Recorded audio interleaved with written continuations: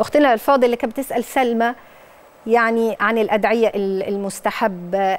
لما قلبك يتحرك بدعاء معين تعرفي إنه ده مدد الله ليكي. ربنا بيفتح باب بمعنى معين أنت محتاجه. على قدر إخلاصك على قدر المدد ده ما بيأتي للإنسان.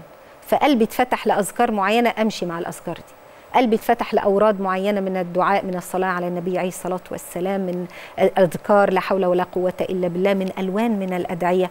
تيجي بعض الناس بفطرتها كده تقول لك والله أنا ما أعرفش لقيتني بقول آه الدعاء التالي ده. يعني ربنا آتنا في الدنيا حسنة وفي الآخرة حسنة وقنا عذاب النار وهو من أدعية القرآن الكريم. لقيتني بقول الذكر الفلاني يعني وجدت نفسي فيه ماشية في هذا الذكر. أقول له ده من الفتوح اللي ربنا فتحها لك فاستغلها وعلى قدر إخلاص الإنسان يتفتح له اللي هو محتاجه من الذكر أو من الدعاء.